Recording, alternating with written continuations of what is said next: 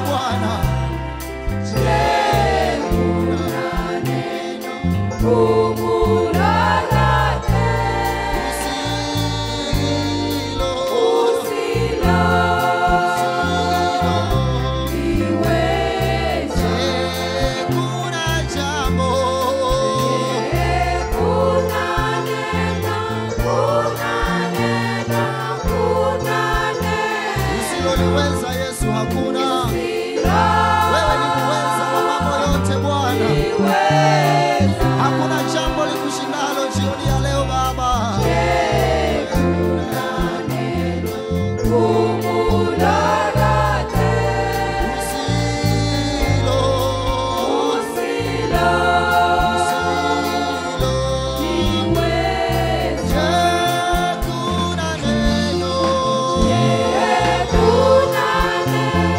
Baba uinuliwe. Upewe sifa Bwana, unaweza Bwana. Hakuna jambo usiloliweza Yesu.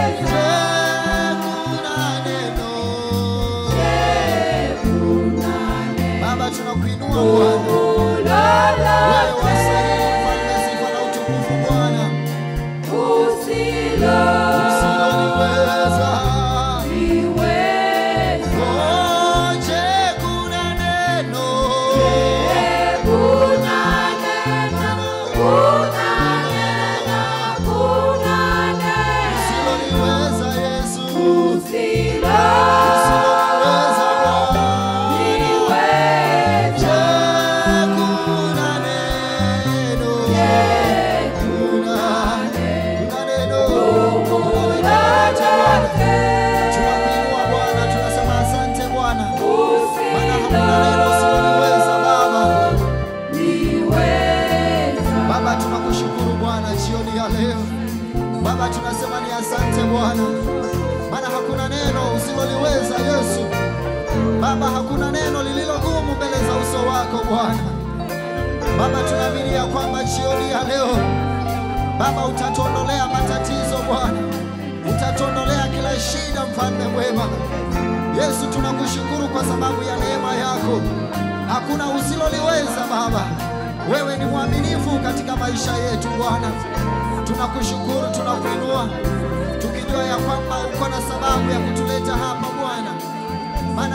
jambo usiloliweza. Tumeona usalama wako Baba, tumeona Bwana ukitulinda Jehova, tumeona Bwana ukiwa mwaminifu, mfalme mwema. Baba, asante kwa wema wako Baba, asante kwa nguvu zako Bwana. Wewe ni mwaminifu kila wakati, wewe ni wema kila wakati.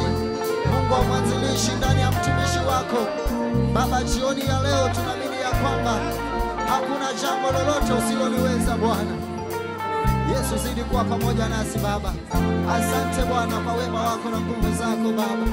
Uinuliwe Bwana, upewe sifa na utukufu. Tunakuhitaji Bwana katika maisha yetu, tunahitaji Bwana msamaha wako, tunahitaji Bwana nguvu zako Baba. Mahali hatuwezi Baba, tuwezeshe, maana bila wewe sisi hatuwezi Bwana.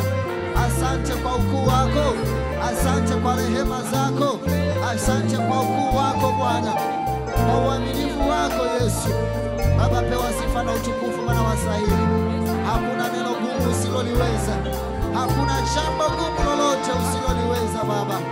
Asante Bwana, tunakushukuru, tunakuinua, maana Baba wasahili Bwana. Asante Yesu kwa wema wako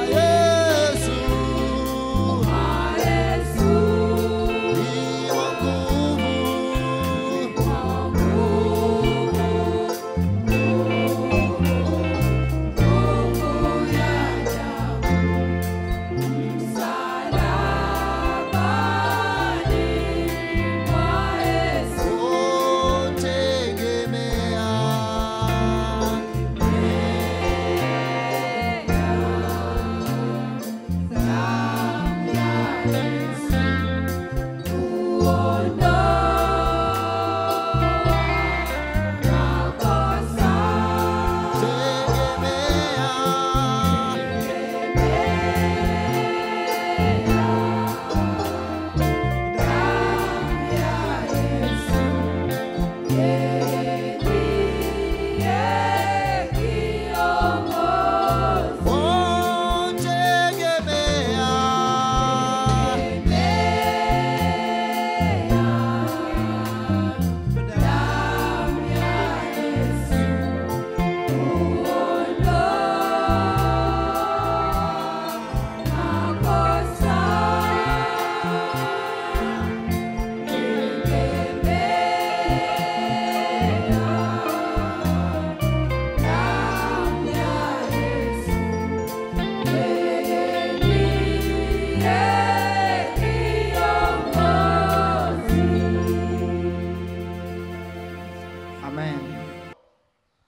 Kana kanisa ambayo watu wameamini Mungu When you stay in a church where people hawana believe in mambo mengi, they don't have many issues with them. maana watu wa imani Because people of faith wametulia. are settled.